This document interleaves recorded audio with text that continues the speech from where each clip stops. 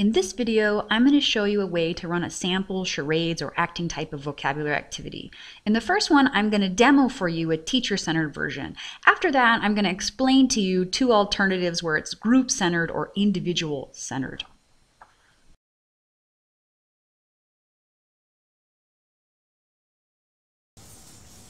The first thing I'm going to do is probably review the words. The students have them in the back of their mind.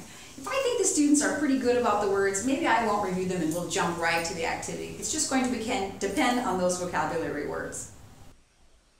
In this demo, I'm going to use the phrasal verbs from your Chapter 6 reading. Because you're working with second language speakers, it's very important that you know that they understand the directions to an activity before you begin on it. Make sure you do any needed comprehension checks or have the students repeat the directions back to you before you begin.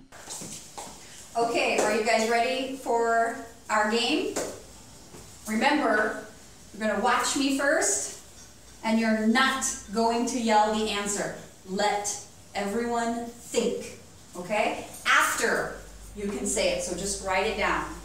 Are you ready? This is from chapter 3, okay? After this, I will begin acting out the vocabulary words one at a time. Even if I'm going to have my students act out later in pairs or groups, I like to go first to show them that I too am um, excited and willing to, shall we say, act a little silly in front of the class. I feel like this motivates them and um, encourages them to also do that. Think about it. Think about it.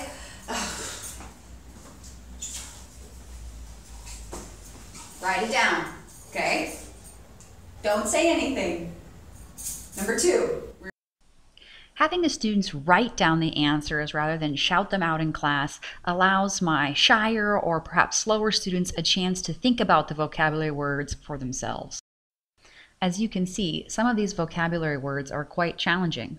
Let's see if you can guess this next one. Number two, we ready? It's my form.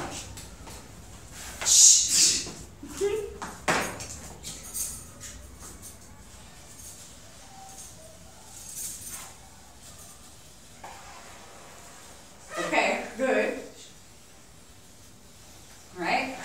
Also, maybe a worksheet.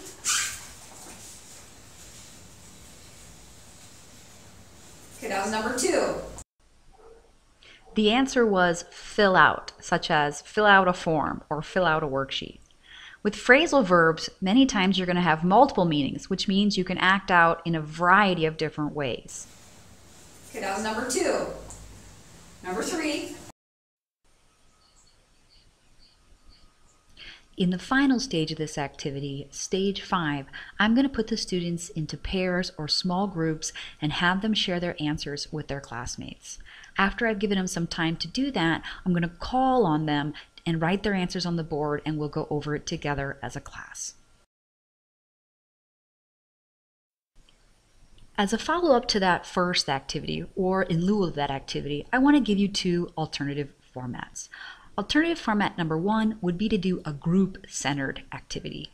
One way you could do that would be to place the class into small groups of two to four people, give each group a different vocabulary word or words from the classmates, and let them decide as a group how they will act out that vocabulary word.